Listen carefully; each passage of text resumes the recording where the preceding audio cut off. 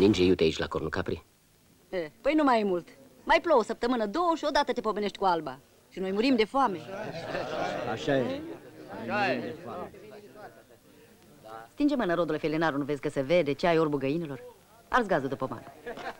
Margareta Păstraru a fost și rămâne, după opinia mea, uh, în epocă cel mai iubit, cel mai cunoscut, cel mai popular uh, interpret de muzică ușoară, de asemenea manieră încât de la copiii de grădiniță până la îndrăgostiții de vârsta a treia, toată lumea fredona cântecele ei. Uh, ea are o capacitate de a fi o adolescentă incurabilă și astăzi aliura ei este de adolescentă atunci respira prin toți sporii o, o frăgezime, o tinerețe, un, un amor, era toată un amor, era o bomboană fondantă, așa de, de așa îmi plăcea mie să-i spun. În rolul de țărancă am distribuit-o pentru că, într-adevăr, era atât de expresivă, atât de vibrantă în, în capacitatea de a expune sentimentele unui țăran înfipt și revoltat, încât, așa cum uh, s-a dovedit și cu Sofia Vicoveanca, distribuită de Daniluc,